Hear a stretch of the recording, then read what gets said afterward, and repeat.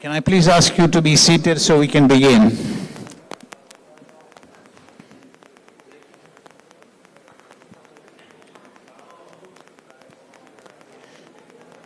Thank you very much. So this is the last panel uh, for the day. And again, the framing question has been very specifically identified in the papers that you have, so I will not repeat it. I will do what I did for the last panel, which is ask questions of each of the panelists. So we would like to kick off here by asking Professor uh, Hassan Ahmadian. And my question to him is this. I had the privilege of um, serving or working with the late uh, Henry Kissinger when he was emeritus chair of the Eisenhower Fellows, of which I am a trustee uh, in the United States. Kissinger once described Iran as either an ideology or a state. If it is an ideology, then that is consistent with the way it is trying to export that ideology by creating non-state actors and supporting them in various parts of the Middle East. And I here refer to Iraq, I refer to Lebanon, I refer to Yemen, I refer to Syria, and many others. So my question to Mr. Ahmadian is, why is Iran feeling the need to have these non-state actors in these countries? And to what extent does it exert control over them? Does it finance them? And does it expect that they do something in return for it? Okay, thank you. Thank you. Uh, let me extend my thanks to the CCG and the Amersi Foundation to you, sir, for uh, having me in this panel and uh, setting up this interesting uh, uh, uh event. I think the issue of non-state actors is not a, an Iranian issue in the region. It goes well beyond Iran. It actu it's actually rooted in the, in, the, in the weakness of the nation state itself the apple doesn't fall far from the tree, and the tree is the weakened nation state. And that apple that is the non-state actor comes as a result of that weakness. Now, Iran's national interest came in line with some of those non-state actors. It came against other non-state actors. And I think many countries actually used and propped up some of those non-state actors in the region. It's not only Iran, but Iran was successful, I guess, in dealing with them, in making use of the fact that its national interest and their national interest came in line. Uh, now, I think beyond the weakness of the nation state that couldn't basically face the challenges that was uh, inherent in its inception and also over time by the intervention, international interventions and uh, regional competitions, be it ideological or uh, geopolitics, uh, I think uh, uh, the nation state uh, weakness in dealing with those challenges brought up those parallel solutions. One of those parallel solutions were militias. Some other parallel solutions were also brought up. But since we're focusing on those uh, non-state actors, primarily militias, let me tell you that there are different reasons. In Lebanon, for instance, Hezbollah came as a result of occupation. It wasn't there before the 80s. Lebanon was occupied. Then Hezbollah came as a resistant movement and still is working as a resistant force. In northern Iraq, the Peshmerga force that then became the KRG army, basically, that force came as a result of a brutal dictator who was arming to threaten an entire population who he gassed to death by chemical weapons. In Iraq itself, the rise of ISIS led to the emergence of non-state actors. In Palestine, that we are witnessing a genocide, the killing machine is still ongoing the resistance and the non-state actors came a result of this lengthy occupation of the Palestinian territories. So I think there are different, diverse reasons for the emergence of those actors. You can talk about Afghanistan, Syria, Libya, Yemen, all different uh, reasons for them. But I think the result is also leads us to the same issue, that is the weakness of the nation state. What to do about this moving forward? I think the strengthening of the nation state is key. And to strengthen the nation state, you need a more inclusive government within the, within the, within the countries, and also you see, not all governments are against non-state actors. Actually, many governments made use of those non-state actors to fulfill what they failed to do in defending their territorial integ uh, in integrity, to stop uh, uh, the, the terrorist organization from flourishing in their countries. So a more inclusive internal politics, a more harmonious region here I, I, I, also should mention the Beijing agreement between Iran and Saudi Arabia. Helps a lot in bringing down the level of tension in the region, lead the region into a less tension-driven status that feeds into weakening of the nation state. And thirdly, I think a global, more balanced way of dealing with the, with the region. The Western previous dealing with the region has been imbalanced. Here, I think also China and other rising powers can play a key role in balancing off the Western influence and uh, rule in the region to bring it a, into a more balanced setting where the regional states can interact without, without much uh, you know, tension. The, uh, I want to put one more question to you, if I may. The cynic might say, and I say cynics, that it is in Iran's interests uh, to have these non-state actors across these four or five countries because through that it is able to very cheaply assert control over these countries and not allow them to flourish as independent sovereign states. Uh, a, what do you answer to that question? And secondly, what will it take Iran, if it's ever going to get there, to say, fine, we are now going to try and push for these non-state actors to become the legal, legitimate, political part of the uh, setup of these countries, just like the IRA became part of the government of Ireland. Um, we had the situation in, uh, in, in, Sri Lanka, which we were discussing with our colleague here. The Tamil Tigers folded up. So what would it take Iran to say, let us now push for these militias to become part of the regular armed forces and allow these countries to flourish as independent states? Those two questions, but yes. short. Uh, I think uh, uh, you see the, the uh, basically each case has its own intricacies and different uh, uh, details in, in dealing with non-state actors. I think the Iranians have actually pushed their allies, many of their allies, to be merged into the national armies. In Iraq, it worked to some extent. Some are not still part of the uh, you know, armed forces. In Syria, the national defense forces are now part of the Syrian army. In Lebanon, there is resistance against Israel. There, the situation is very complex. It's not Iran's shot to, to, to basically call the shot in there and, and uh, ask the, the, Hezbollah to move to uh, merge into the government. And I think they, they are in a very good term with the government there.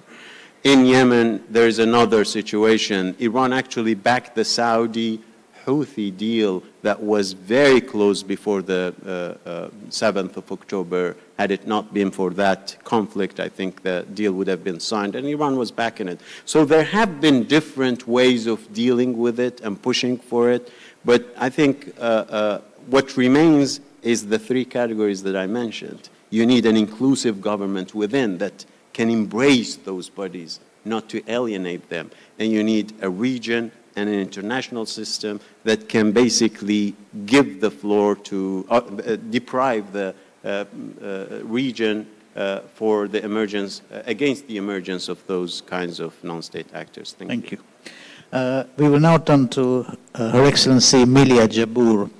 Um, I think that many would say that Lebanon has brought it upon itself, and it is the people of Lebanon who are to blame for what we have there with Hezbollah Um, we have Amal. We have many movements there. Some of them have, are militarized um, and are working independently of the regular army. It plays to Hassan's point that unless you have a strong state where its people believe that they want to create an independent state, the non-state actors will flourish.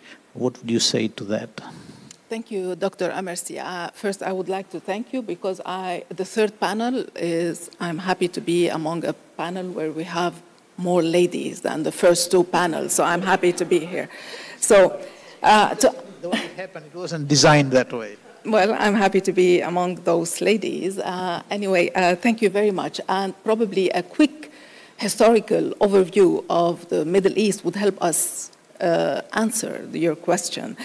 Um, because if we want to better understand the contemporary uh, Arab region, uh, we, it requires stepping back from the present and taking a long view of the evolution of states and sovereignty, because you're, taking, you're talking about non-state actors evolution of states and sovereignty in the modern Middle East. I'm not going to do that because it requires lots of time, but it is worth noting that the architecture of the region was created by Sykes-Picot. We, we should not ever forget that. This is an informal and secret agreement between Britain and France sketched out during World War I to divide up the post-Ottoman region and through which borders were imposed by former colonial powers. With the same importance as Sykes-Picot came the famous Balfour Declaration issued by the British government in 1917, announcing its support for the establishment of a national home for the Jewish people in Palestine. This is a bit the context of what we are going through today. And one of the key factors that brought the Arab world to the point of turbulence we are in today is the Arab-Israeli conflict, which is the oldest and most serious destabilizing force in the region and has plagued us all since the 30s over the course of the years with four major Arab-Israeli wars and 100, more than 100, non-respected international resolutions, non-respected by Israel, plus the fact that the USA major power in the Middle East and other Western societies seem to pay more attention to the security and rights of Israelis than to those of Palestinians and Arabs. This chronic imbalance generated considerable anger and frustration among the populations of the Middle East. This tension was built over decades and was one of the important factors in the growth of movements in the 80s, whose ideology was to fight particularly against Israeli occupation of Arab lands. Take, talking about statehood and sovereignty, the general principles, patterns, and conceptions of statehood and sovereignty of the Westphalian system have evolved over time, and in more recent times, the idea of a nation's right to exercise its sovereignty is being challenged in different parts of the world by various organizations, as well as from proponents of humanitarian intervention. The system has been also challenged by the presence of wide array of multiple actors and a myriad of categories of non-state actors. These can be sub-state actors, such as labor unions, large companies, professional associations, religious communities, or transnational actors, such as non-governmental organizations like the Red Cross or Greenpeace. The term also includes criminal networks and politically violent actors like ISIS or Al-Qaeda. It can include also quasi-military organizations, militias, national liberation, uh, liberation movements, guerrillas. Non-state actors differ greatly in nature, so too their interaction with the states. This is what uh, Dr. Hassan talked about, their interaction with the states. Non-state actors in the Middle East are not merely the expression of a state vacuum where they take on certain roles states traditionally fill.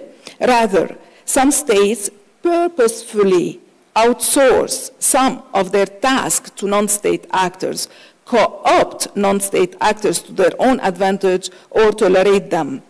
The different ways in which states choose to interact with non-state actors stems from the state's raison d'etre. Thus, a non-state actor can fold into the state's purposes, be it by providing security, welfare, or charity, or by acting as a representative of a given community within the state. For example, Lebanon has outsourced a key area of governance to a sub-state actor. Our personal status law fall into the realm of the religious communities recognized by the state. Hezbollah as one of the major political party, has very extensive activities, including construction work to repair war damages caused by Israel. It also provides healthcare and social services. They do it within the context of the state. It also became a large representative of community interests, like the Shia interests, in a similar way to political parties in democracies.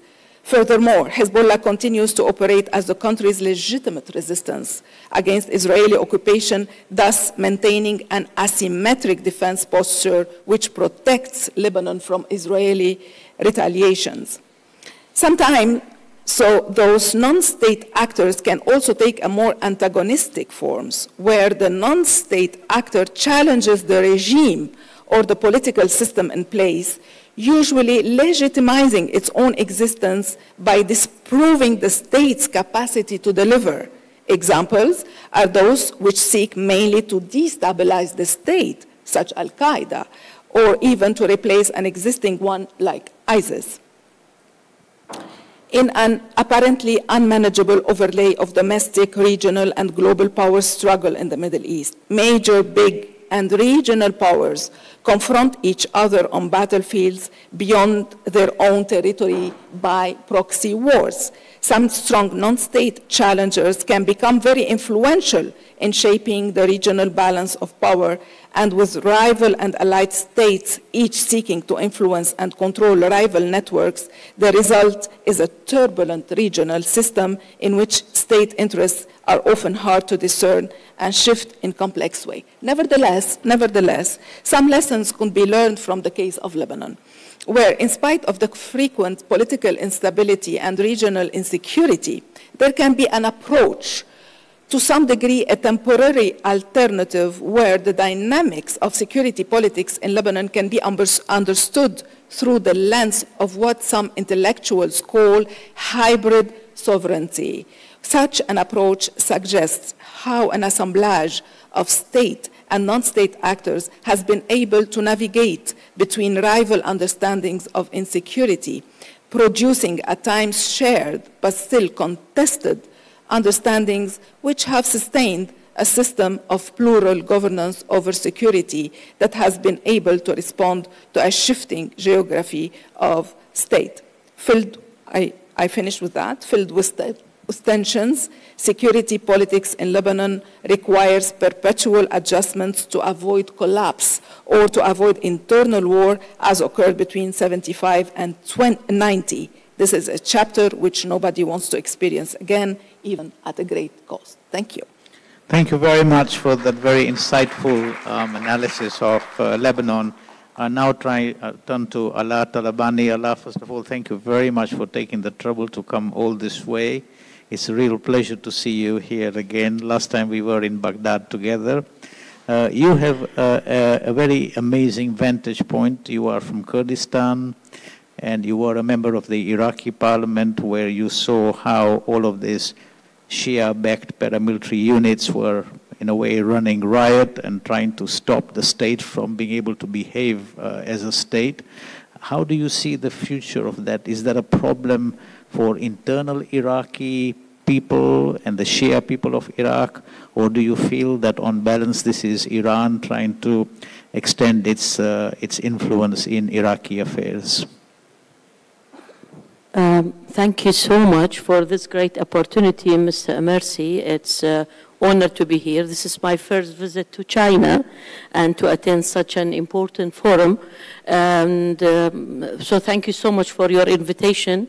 And I'm so happy to meet so many good friends as we met earlier in Baghdad and at my place and then here in Peking. Well, this is a good question. You mentioned at the beginning that this part of the whole conversation and panel, you like it so much. I like it as well because it's kindly a daily base concern for us as an Iraqi. When I was in the parliament for 16 years, and I work as an advisor to this, our new prime minister for a while, and I'm working with civil society now. Um, I like the title here about sovereignty. I think and I can say that Iraq is the, one of the most countries who are suffering from the violence of sovereignty. Um, many, for many reasons and different reasons. Some of them are local, interior, and some of them are external uh, because of the interests of other countries in Iraq. Sometimes we say Iraq is an arena for other parties and countries' conflict. Um, and there's many examples. Um, as, for example, Turkey, between time and time, they are bombing some areas in Iraq, in northern Iraq. They are assassinating some individuals uh, under the name of protecting their national security and defending terrorism. Of course, the PKK. And so far, there is no uh, um, an, an, an, an, action, official action toward this. Uh, there is some will, some, uh, the government is trying to do some uh, uh agreement with Turkey, uh, I mean, of course, security agreement.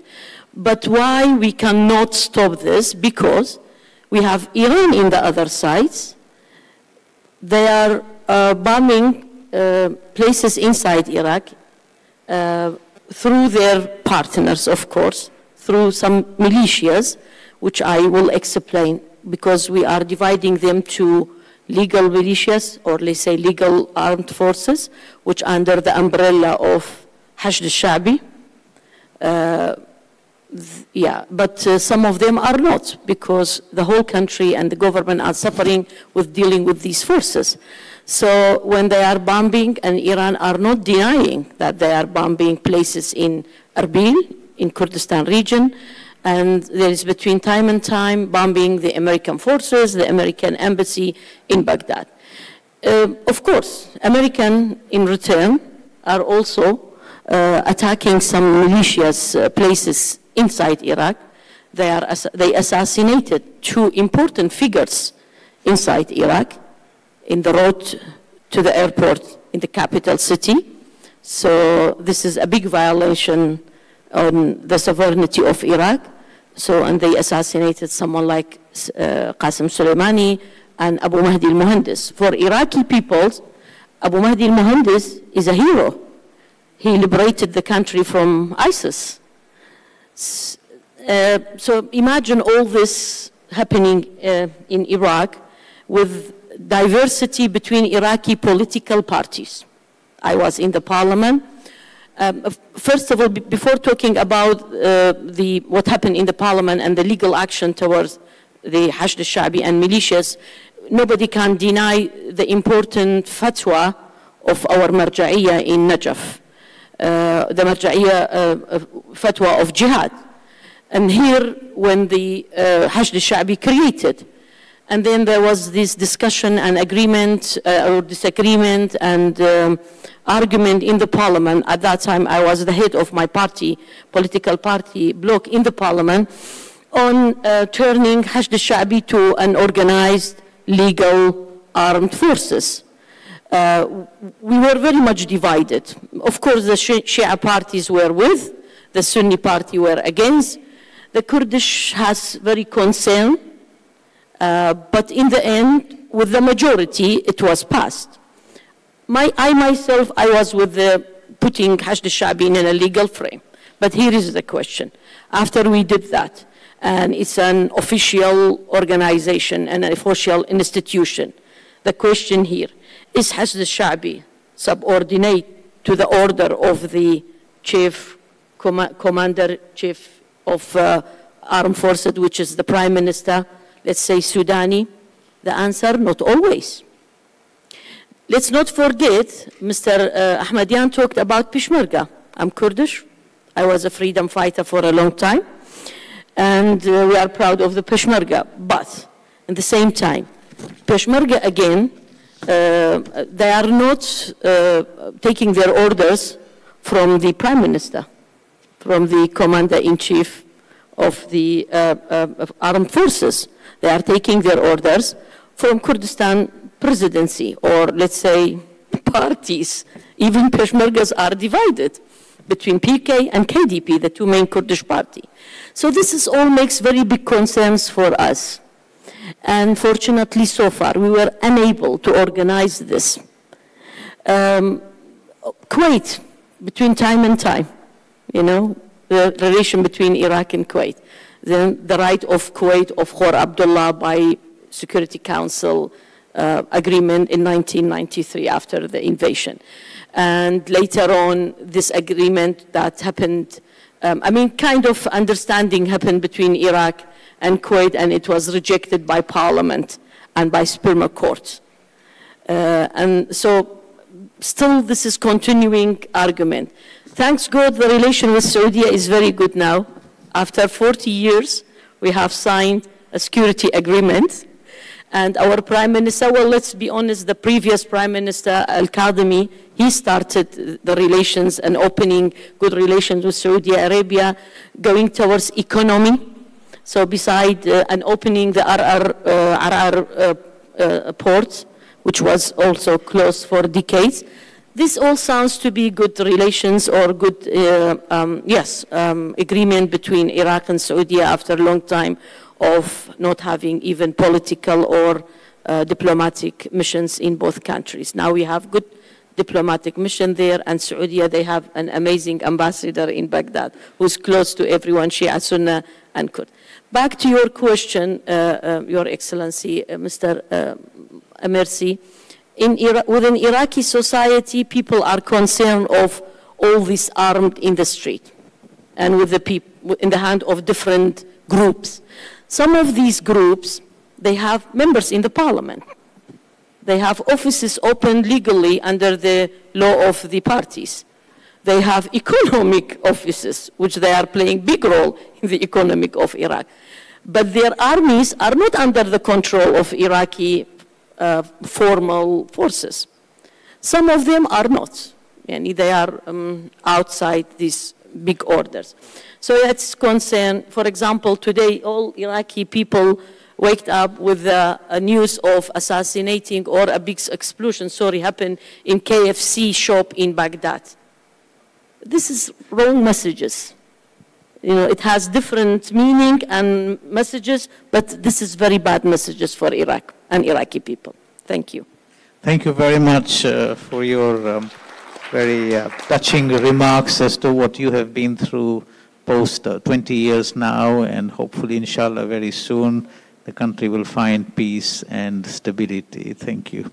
I now turn to Yasmeen Eryani. She's from uh, Yemen, and she has a very good understanding of the dynamics that played out uh, in Yemen. And the question is more or less the same for her as well. Are the Houthis a force for good, or are they a force for division and um, to stop the country from becoming united and a sovereign state? How do you see it going forward? Thank you first uh, for, for inviting me, for arranging for these Middle East and uh, China uh, panels. I think they're very important and, and timely. Um, Your Royal Highness, Excellencies, and, and, everyone, and of course the organizers, uh, Amersi uh, Foundation and CCG. Um, before I answer your question, which is very direct about, uh, about the Houthis, and I will answer it, but before I do that, um, I want to kind of zoom out a little bit because in the last two days we heard uh, of multiple global crises. Uh, from uh, a weakening of world order, uh, rule-based uh, order, uh, weak multilateralism, um, geopolitical competition that is impacting negatively the global south, and so on. And I believe that Yemen is um, a microcosm of all these crises, uh, quite condensed. Uh, and I think it's an example of what happens when you leave these crises uh, unaddressed. Uh, so the Houthis is, they're a symptom of uh, a, a, long uh, period of crisis in Yemen, which in one way or another has something to do with all these more global crises. They are not only specific to, to Yemen. Um, the, the, Houthis captured the state in 2014. Uh, they um, took control from a legi legitimate uh, government. Um, we were in a transition, transitional period that was struggling, but it was moving forward. We were trying to escape a fall into a full-blown conflict, uh, but we were drawn into it. I think Yemen now is in a very critical situation as a state.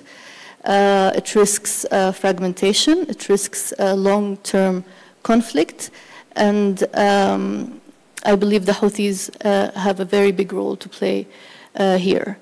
The Houthis as a group is also not one that would be willing to share power with other Yemeni uh, parties. And Yemen has been enjoying political pluralism for the past uh, several decades, so this is not new to Yemen. And there is very little tolerance to um, a, a, governance that governs alone, that uh, you know one party or one group that that governs without the others. So I, I believe that this will not pass in Yemen. Uh, but how will it unfold? I think that's the critical question in terms of what, you know, what the, the title of the panel is, sovereignty and, and non-state actors, I mean, there's an array of non-state actors in Yemen. And of course, the Houthis are uh, the most, the strongest. They are uh, strong militarily. They have also used the last um, 10 plus years to, uh, to really consolidate power uh, while their uh, opponents continue to be very weak and fragmented and divided between them. But there are other non-state actors uh, in Yemen, uh, armed uh, and with different political projects. Some of them are together in the government of Yemen or the internationally recognized government. And they are backed by, by regional states, including Saudi Arabia and UAE, and to some extent also Oman.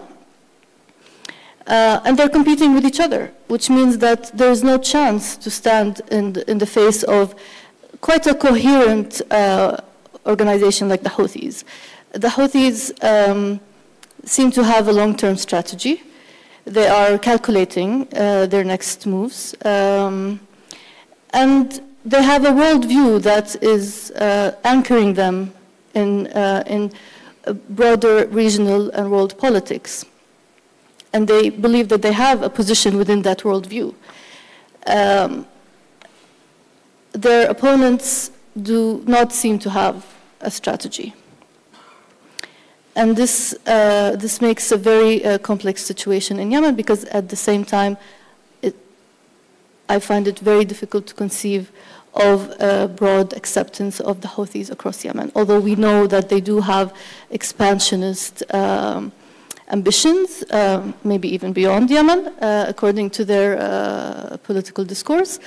Uh, so I think we have been underestimating their, their ambitions in Yemen.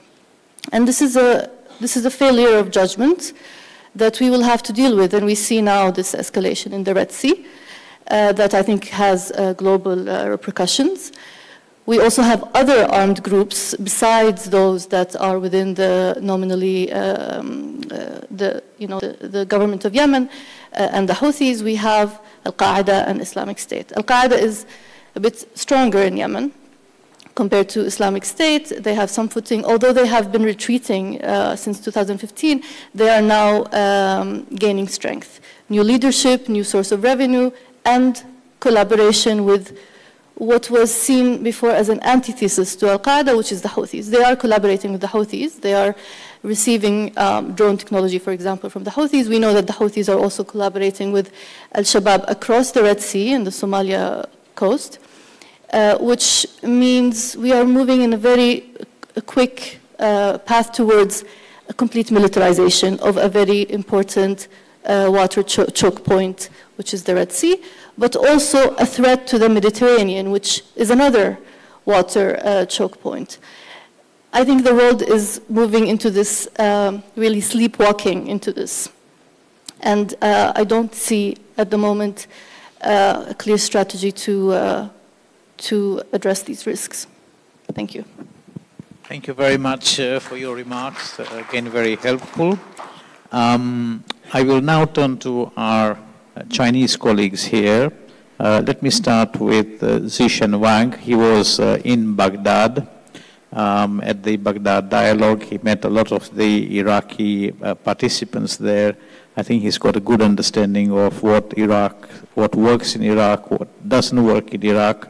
What is China's attitude in terms of tolerating or even accepting that non-state actors should be allowed to, um, as it were, play a part, whatever part it is, in some of these Middle East countries in which China has become by far their biggest trading partner and in some cases political partner.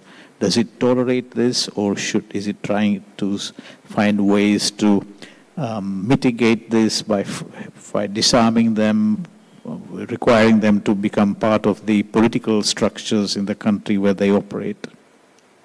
Uh, thank you, Mr. Amersi. Uh, it's a great privilege to be on this panel, and uh, uh as you so your foundation made this possible, and uh, I work with CCG, so I will not thank my boss here. And uh, it's it's great to be in front of His Royal Highness and also some friends that, as you correctly mentioned, that I came across in Baghdad. So uh, that is actually a very interesting question. And some of the panel members have talked about, you know, non-state actors. I think the situation in China is actually quite unique. I think the People's Republic of China, with the Communist Party of uh, China in leadership, is known to be, and it is uh, very proud of a very strong centralized state. And uh, uh, throughout Chinese history, the tradition here has always been that you know, a strong uh, central government is what the people are used to. And uh, when the country is fragmented, when the country is in chaos, uh, the natural tendency of the, uh, of the Chinese people across many generations of its leading uh, intellectuals, people want a central and strong state. So I think that's some, something very crucial, a difference between the reality in the Middle East and uh, uh, the People's Republic of China uh, today. And uh, uh, you all talked about a lot of very specific cases in the Middle East. And uh, as we all know, at this, this particular moment and for many years before that, the United States remained the number one let's say, Uh, as the theme of the uh, panel says, outside interference uh, from the region. And uh, Chinese uh, approach and its collaboration with countries in the Middle East has largely been economical. And so China is, I think, for the past 10 years, and so Chinese have been trying to enhance its uh, involvement in the Middle East and, uh, but still, the emphasis is largely economical. And uh, China set up a military logistical uh, base in Djibouti, but China officially maintains it is not a military base. Uh, whereas, you know, the United States maintains many uh, military bases uh, across the region. So I think for the Chinese, it's still not at the level of outside interfer interference into the region as uh, the United States or, be, or before that, uh, the Great Britain. And uh, as Professor uh, Ahmadian uh, alluded to in the, in the initial remarks, that there is a uh, speculation, or maybe to some extent, I think, a hope for emerging powers, maybe like China, to get more involved in the region. And so I'm not exactly sure that's uh, Beijing's interest at this particular moment, because you know I think one thing that lingers uh, in the background is the rivalry between China and the United States. It has grown increasingly global in that all regions of the world have been drawn into the strategic competition between the two countries. Nevertheless, the degree and the pattern of involvement of these uh, regions differ. Comparatively speaking, uh, I think the Middle East is among the least affected regions uh, in terms of uh, China-US competition.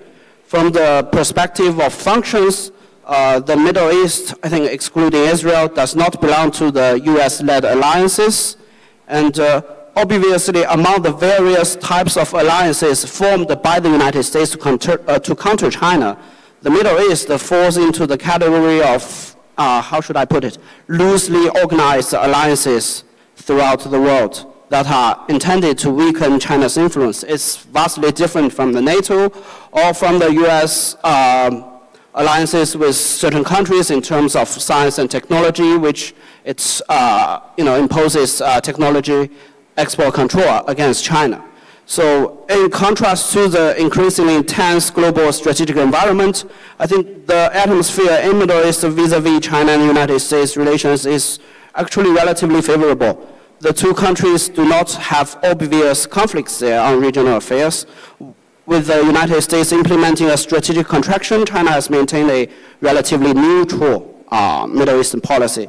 As a result, I think countries of the region uh, barely face any pressure to choose sides. To be sure, the disagreements frequently rise, but uh, until now, I think they, uh, the differences between the two powers have been limited to mutual criticism and uh, non-cooperation, which is still a long way uh, from uh, direct confrontation. Thank you very much uh, for your comments. For the last panelist now, um, I would ask um, He Wenping, do I pronounce that right? Yeah, actually it's a her. her Wenping. But I'm getting used to be called Professor He. It's okay. Okay, thank you. Forgive, right. forgive me. So my question to you is going to be, the definition of non-state actors must be very odd to China because such an animal does not exist in Chinese political uh, as well as uh, social um, structures. Now, you are involved with social sciences, so how does China actually see non-state actors, i.e. a state within a state? Is this something that people understand how this phenomena works here? Uh, yes, as you can see, huh, my uh, research, you know, this organization called Western Asian and African Study, uh, this institute affiliated with Chinese Academy of Social Sciences. So you see in the uh, Middle East and Africa, we call Middle East uh, Western Asian. So in this uh, large area, actually a lot of those non-state actors. for example, in Somalia, a lot of warlords you see, after uh, the end of the Cold War, and now even in the Western, uh, you know, African country, those Sahel, those, those places, lots of terrorist, uh, you know, activity and the non-state, those uh, actors playing a lot of role. Uh, even in the Middle East area, we just heard the situation has been introduced from Lebanon, Iraqi, and Yemen. So now nobody not knowing, uh, you know, Hezbollah, uh, like Houthis. Uh, you see a lot of militias uh, in that area. That's why uh, being the outsider observer uh, to look around about the Middle East uh, situation, because today the major thing we talk about is this Palestine and the Israel, this conflict. You see, so even though there is a talking going on in Cairo, a lot of negotiation, and then parallelly we see this Houthis, you know, make some action in the Red Sea, even also damage it I think also China's interests, because we have lots of those, uh, you know, business going on, uh, those commodities, this uh, global supply chain now has been damaged. This is also, uh, you know, damage to this global economic recovery. So nobody saying we can stay outside of this picture. So you see, I really agree, uh, previous uh, panelists just mentioned, how this issue coming, you know, in that way, uh, in the Middle East, a lot of these uh, non-state actor, how to understand their role. I think it's a double-edged sword. You know, when this country really out of control, or even this state actor now seems nowhere. So that's why uh, make this, uh, you know, this uh, soil being uh, paved for these non-state actors. They can survive. They even can be uh, build on their power and getting stronger and stronger So even I have students ask me, saying, what is the Hezbollah? It's a, what is the, the, the relationship huh, between uh, their forces and with the state, uh, these forces? The military troops, uh, you know, in the control by Lebanon government. So you see, it's a very difficult question. Similar like Houthi, uh, these uh, forces uh, is under whose control. So this is the, uh, when state is becoming weak, of course, non-state actors getting stronger. So this is like this way, right? And even, I think this, uh, this our final panel, uh, this topic is well, very good chosen because we also need to talk about independence and sovereignty and also outside interference. Like my uh, friends just mentioned, uh, my colleague panelists uh, just mentioned, those assassination uh, from outside uh, of this Middle East. And those assassination ignore sovereignty of the Iraqi, ignore the sovereignty, like Lebanon, huh? all the countries. So when your sovereignty and uh, also this independence now getting weaker and weaker and weaker, so that's, that's why we see a lot of other players, they are show up, uh, they're ahead. Now they are playing around and they even make those mainstream talk, uh, like those talking in uh, in Cairo now seems step forward and then maybe two steps back. And then who is the player? Maybe some uh, non-state actor, they doesn't want to see those things moving to that direction because they don't want to see. So a lot of uh, uh, those uh, you see the attack and even assassination happening. And also, it's very tough because I've been doing international relations, this study and then research for decades. You know, when you're looking about world history, uh, even state actors playing around uh, together with these non-state actors. Yeah, when something state actors cannot do uh, on the surface, uh, maybe then uh, those non-state actors will do for them under the table. So those things we don't know the secrets. Many, many things is confidential. Uh, court is confidential. So maybe years, years later, decades, decades later, and then we got to know something happened during the Second World War, even First World War. So why those war immediately broke out? And then you find it's not those reasons we have been taught by the media. Actually, it's other reasons, very deep. So this is the issue. They're all intertwined uh, with each other. Thank you. Thank you very much. I will now invite, thank you, uh, a couple of interventions from the floor. Let's start with His Excellency Mohammed Hasnein Khaddam, Ambassador of Syria. Uh, this phenomena of non-state actors you also see uh, in Syria in quite a way. Some are for the government of President Assad, some are against the government of, uh, of uh, President Assad. So how does this play in Syria? And again, it would be helpful if you could um, confine your remarks to three or four minutes so we can give uh, some people time to speak as well. Thank you. Three pages only. Thank you very much. I, I must thank you, Mr. Amersi, Mr. Wang, for uh, hosting this very important forum. I must uh, be honored with the presence of his uh, uh, uh, Prince Turki, honored to in fact, I will elaborate. I prepared some quotations, and I build my case as uh, the, the players in the region are reaction, reactionary players for the main player, which is in fact the US and Israel. As uh, Her Excellency, the ambassador of Lebanon mentioned, the Sykes-Picot, the uh, div dividing the region irrespective of uh, territorial integrity and sovereignty, creating sub-sovereignties. I wish to state in the beginning that the term non-state actors is a euphemistic euphemistic misnomer that sits on the border of terrorism and just struggle, obfuscated for a long time due to lack of a clear definition, international definition of terrorism. Uh, an effort my country called for in the 80s last century, but was hampered by many Western countries, but mainly the USA of course, the lack of clear definition of terrorism gives gray space for foul play. And let me here quote uh, Senator Hillary Clinton. We created Al Qaeda 30 years after the creation of Qaeda. Uh, the liberation movements for the Palestinian issue are a continuation of the liberation movements that spread throughout the 40s and 50s of last century. They were self-created.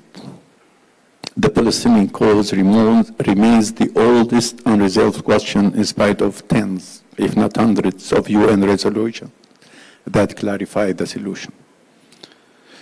Uh, in full support of the occupation force, and the internal, for internal or geopolitical uh, reasons, the U.S.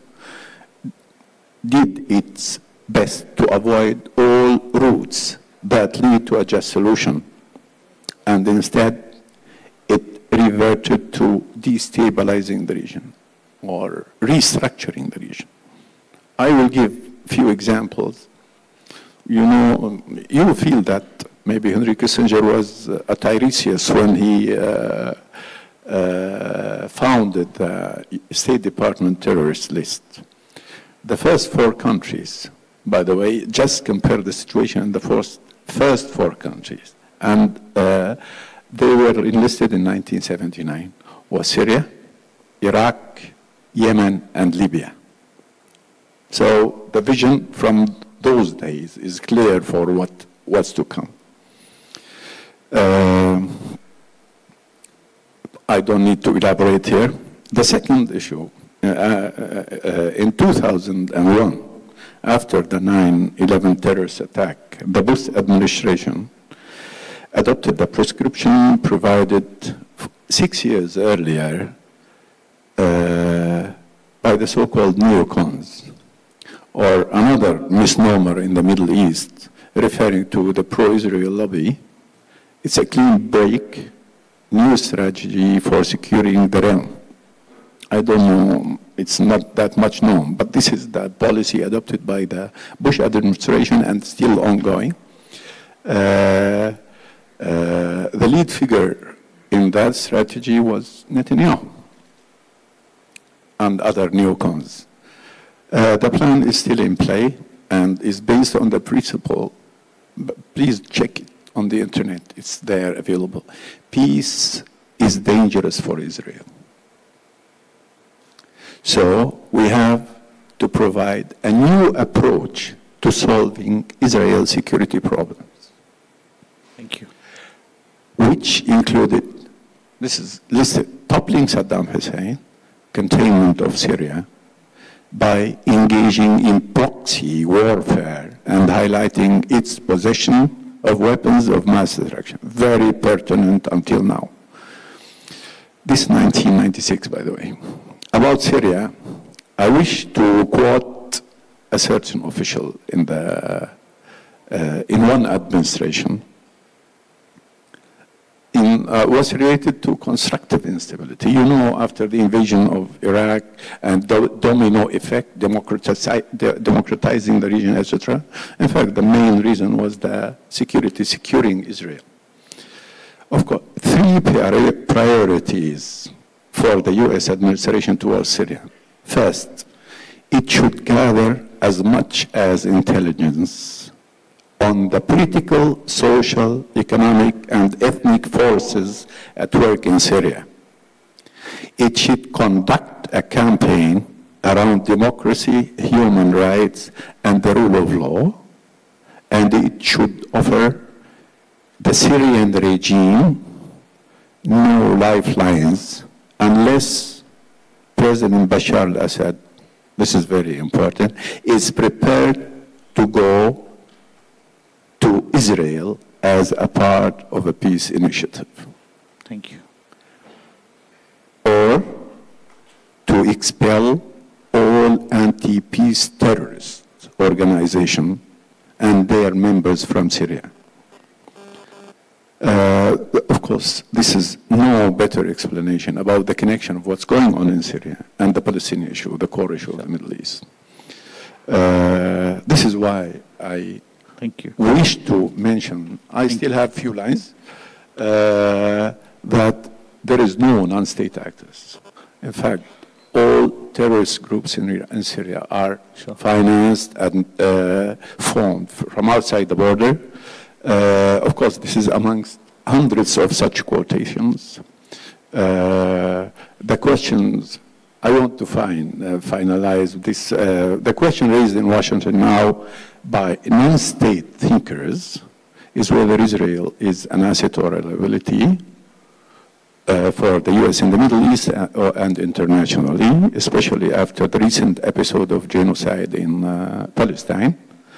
The whole Middle East question was built on invalidated presumptions for decades. I will state a few. Palestine has been inhabited by its own people for millennia. They are th now thrown in the sea. Thank you. Uh, Judaism, like Islam and Christianity, uh, is a heritage of our region. People lived in harmony throughout the centuries. The region is paying the price of certain Western crimes may be committed against certain groups, and they are repenting with our blood. Uh, of course, the Palestinian issue will never die without a solution. Um, this is uh, this is all I want to say. Thank you very much. Thank you very much for your remarks. Highly appreciated. Um, I would now ask uh, Professor Ahmadian, uh, and let me put to him an alternate model uh, in place of the non-state actors for Iran to think. So uh, many people would say that after the Iraq-Iran war, after the imposition of sanctions on Iran, as both uh, Dr. Mousavi and Dr. Sajadpour said that even after signing the JCPOA, Iran was subjected to the most brutal sanctions regime that the world has ever seen. And Iran some would say legitimately exercised its rights of self-defense to ensure that it can never ever face a situation where its neighbors can attack it again, and this it does by having uh, non-state actors or supporting non-state actors in its neighbors. But would an alternate model where Iran would say to these non-state actors, why don't you become part of the main political process? Why don't you get yourselves into political parties, and then ask your state to sign security guarantees with Iran in the way that perhaps the GCC, in the way that NATO, in the way that European Union frameworks work, so it can get the security and protection it needs, but at the same time it would allow these countries to exercise their independence, to develop, and to become sovereign. Is this something Iran might consider one day? Thank you very much. Thank you you and CCG for inviting me. Uh, let me, for a couple of minutes, uh, lay out a framework uh, for my discussion and my response. Uh, number one is, you know, we can address this issue at three levels. At the international order level, at the regional level, and at the national level.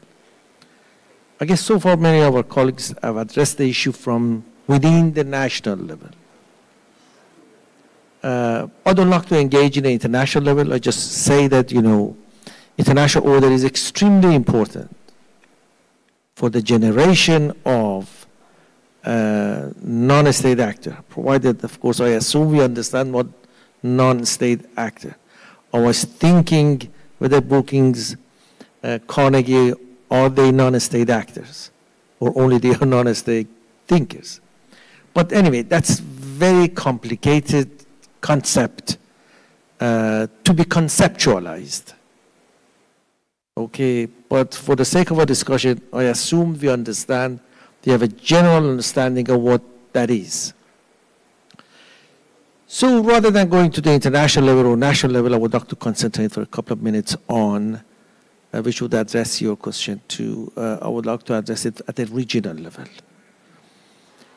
You know, to me, uh, two important uh, events or changes happened in our region, in the Middle East. There was a balance and imbalance. There was a balance of power in the sub-region of Persian Gulf between Iran and Iraq. Thanks to American invasion, that changed to an imbalance. And the whole discussion for a couple of decades now is to reconstituting that previous balance. But there was an imbalance at the region of uh, uh, Middle East. And the imbalance was Israel was acting like a superpower to the rest, and there was supposed to be a military edge that keep the Israelis to be in that position. That imbalance, to a large extent, at least in our perception in the region, has changed to a balance. And it has a couple of important elements in it. Number one is Iran's missile program. Number two is uh, Iran's nuclear program. And number three is these non so-called non-state actors.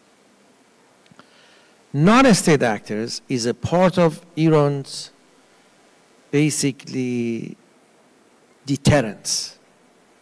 We have tried to build a comprehensive, yeah. comprehensive deterrence belt around Israel. Thus, in order to keep that balance in the region, in order to create that uh, deterrence belt, thus Iran has relied on important allies like the non-state actors. So that these are the reasons, unless the root causes of, at the three level, international level, regional level, national level, unless we address them, we, are not, we cannot resolve this issue of sure. non-state actor. Thank you. Thank you very much. I've now got requests from three uh, members from the floor to make comments. Uh, they are Mr. Fadlallah from Lebanon, Mr. Raghib Al Hussein from Syria. You don't want to? Okay, and Isabel Zaidan from Syria. So we will start with Mr. Fadlallah first. Thank you very much. I have some comments about the three panels.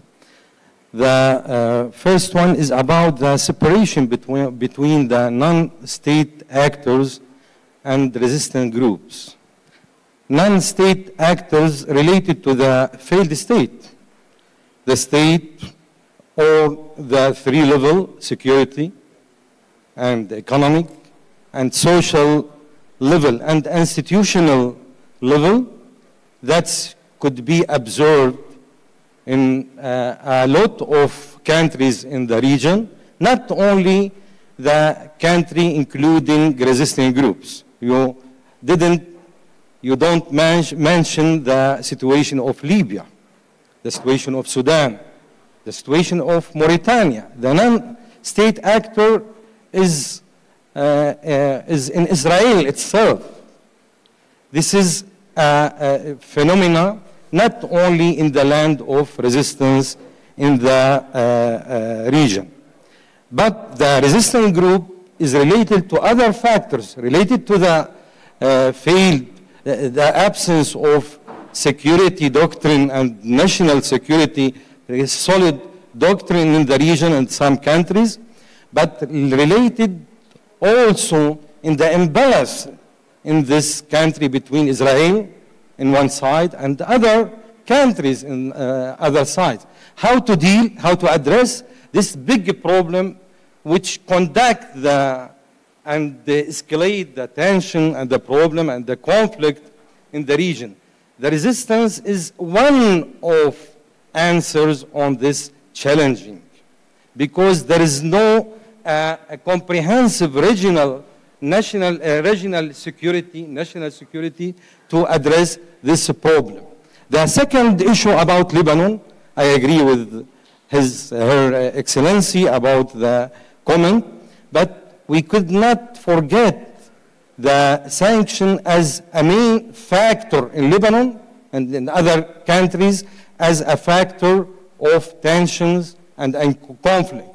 We need a non-state actors at the economic level and social level to avoid, to prevent this controlling, this controlled sanctions and the uh, uh, several of sanctions laws and uh, uh, acts is accepted by some countries. We need to revise all this uh, concept if we address the problem, the security problem in the, in the region and we need a comprehensive and cooperative security doctrine uh, between all countries, including Iran and C Turkey, and the, uh, most of Arab countries. Thank you.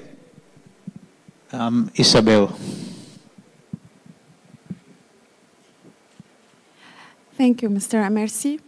Uh, first of all, I would like to talk uh, as uh, my name is Isabella Zaidan. I came from Syria, and I'm the head of the external relations of Asham Private University and one of the newborn universities in Syria throughout the hardship and the times of sanctions.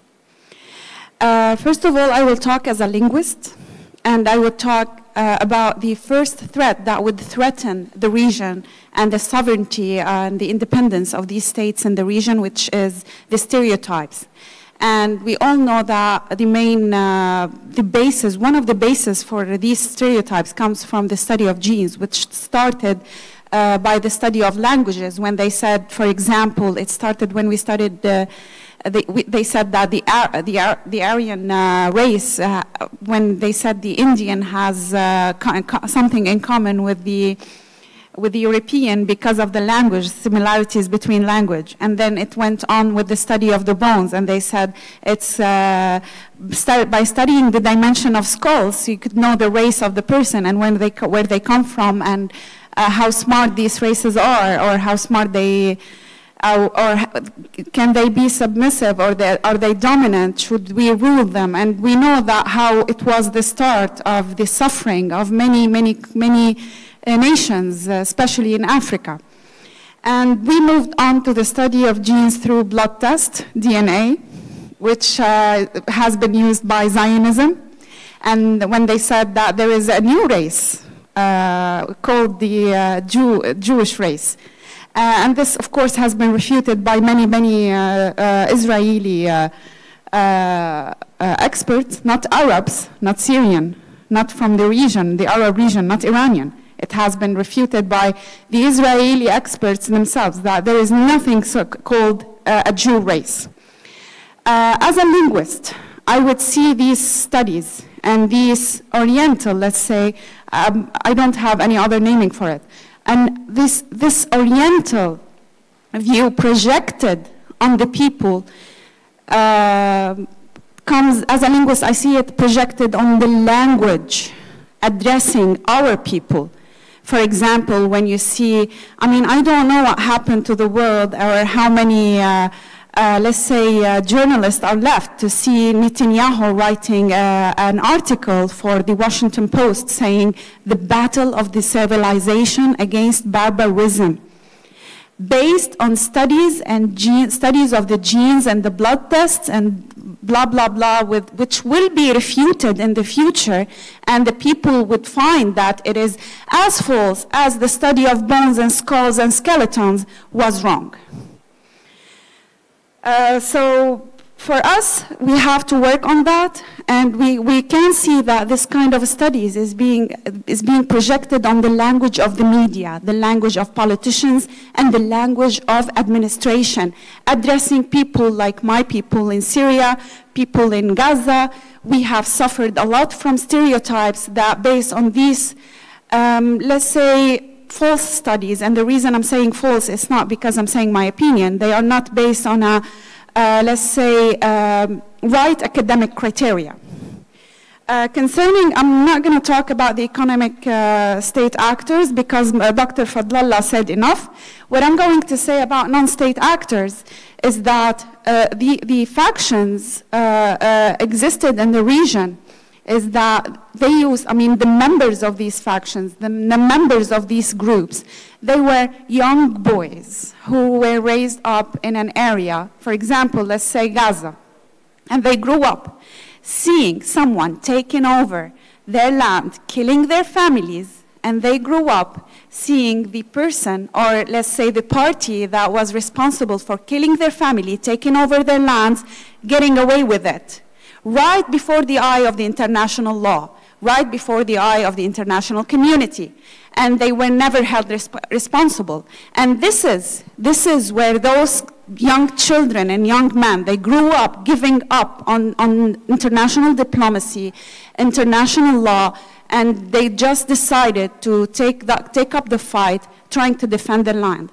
So if we want this to end, just apply international law, especially on the uh, temporary entity of Israel, as much as we apply it on other countries. Thank you. Thank you very much. Very well said, Isabel. My last question will be to um, uh, Sheikh Sayyid Hassan al-Hakim and Sheikh Mohammed al-Najm. You've heard from Alaa Talabani a deep cry for help, a deep cry for assistance. You had Saddam Hussein in Iraq that brutalized so many people. After that, there have been 20 years of turbulence and the country has not been able to find its feet. It is such a rich country probably one of the largest oil producers in terms of uh, uh, considering its population size, but yet it is not able to prosper. How would you support Alaa uh, from Sheikh Mohammed Najm and then from Ehsan al-Hakim? Bismillah ar-Rahman ar-Rahim. Well, uh, Alaa Talabani uh, described the situation very, uh, very in a bright way. But I think that Iraq now, at the moment, is, is growing for uh, within its sovereignty and within the uh, Iraq dialogue between all the parties, uh, growing for building their country for a better future although there is some struggle because of the the foreign countries, there is a struggle between Iran and the US about Iraq. What happened after 2003 because of all the suffering from the previous dictator. But I think our aim as Iraqi to rebuild our country, to continue the democratic reforms, to have our region stable, and I think stability is very important. We should, we should seek for you know, the Arab states, especially the Islamic states, to help us for that. Of course, international community should play a uh, positive role in that so that the region will be more stable. This is my uh, comment on that. There are some other comments about the nuclear uh, uh, uh, nuclear weapons and other, other things, and I think the ambassadors and others addressed this issue. Thank you very much. Thank you very much. Said Hassan, do you want to say a few words?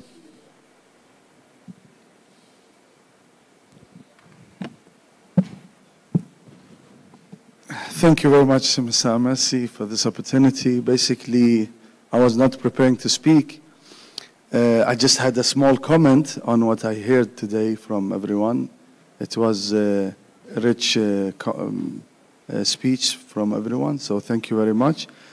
Uh, basically, I believe, uh, maybe it's more dream than reality, but I believe uh, the solution always going through dialogue and speech, never through weapon and uh, words. So I am basically against all uh, the um, all the weapons that are being selling, not just nuclear, I need a Middle East without weapon. And th that's why I'm saying this is a dream, because uh, in reality, there is a lot of uh, politic uh, um, on politician that's uh, using the weapon to get more, uh, to get stronger in the, in, the, in the Middle East. So they think this is the way, and it was the way, that they get stronger. So speaking about uh, Middle East without nuclear, I feel that it's, we should speak about Middle East uh, without weapon. Uh, we cannot use the weapon correctly. The weapon is for defense, I accept that, but it shouldn't be more than this.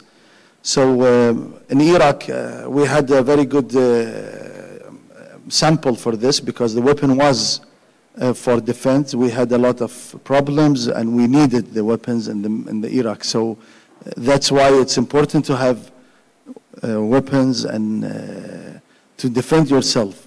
But when it goes more than that, then we have the problem. So I feel we should uh, teach our uh, society to fix the problems through dialogue and speech and not through weapon. And this is, as I said, it's a dream we should all work on. Thank you very much. Thank you. Uh, I have a request from Nada Dave from Bahrain. If he wants to address a few words to the, um, to the forum uh, from Bahrain's perspective, but keep it short, please.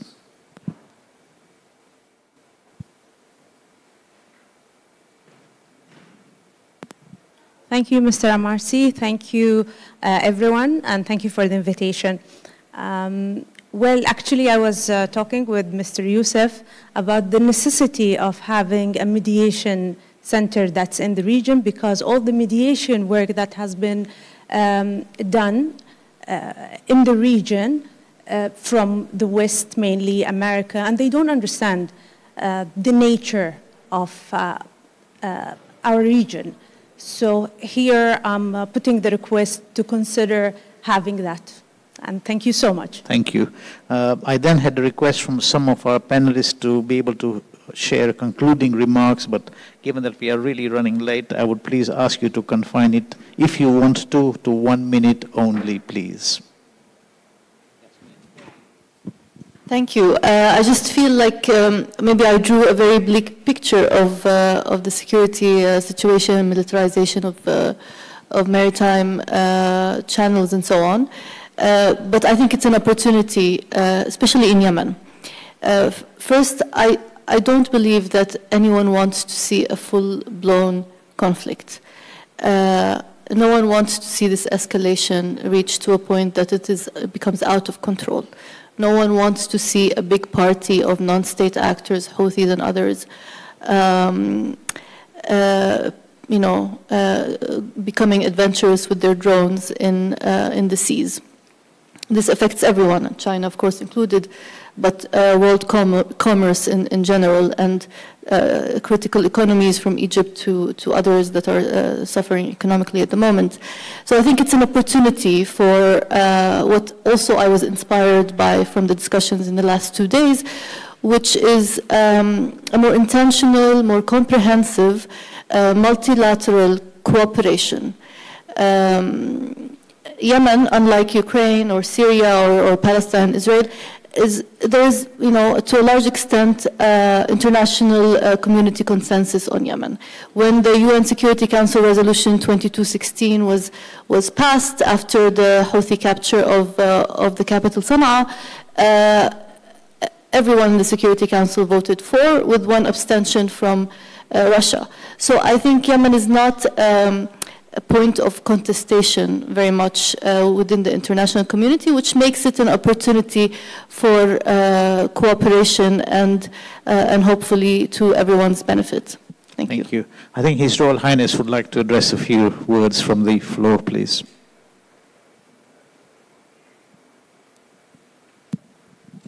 Um, thank you. I was reminded when I, my time as Director of Intelligence in Saudi Arabia that uh, we had a uh, terrorist attack at that time in the city of Dhahran.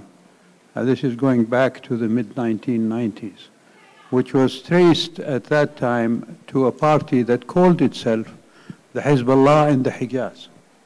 And I remember at that time it, the kingdom had a security agreement with, uh, with Iran, and uh, the Ministry of Interior was coordinating with with uh, their uh, Iranian counterparts. Anyway, the perpetrators uh, fled from Saudi Arabia and went to Iran, eventually ending up in Lebanon, where finally one of them was captured back to actually in Lebanon and was brought back to face trial in, in the kingdom. Uh, my point is that because of the China's intercession with, between Saudi Arabia and and uh, Iran, um, the, the, the security uh, agreement between the two countries has been revived. and now, uh, hopefully, that events like that will not occur uh, anymore as an understanding of the rapprochement that happened between Iraq, between Iran and, uh, and Saudi Arabia. This is just a state, non-state actor that was happening there. Thank you very much. So we will end the panel here, and if I could please request His Royal Highness to come onto the stage and join us for a group picture, uh, plus His Excellency, uh, Mr. Khaddam. Uh, Nasser Hadian, please, if you would like to join, because you did ask a question, um, it would be great as well.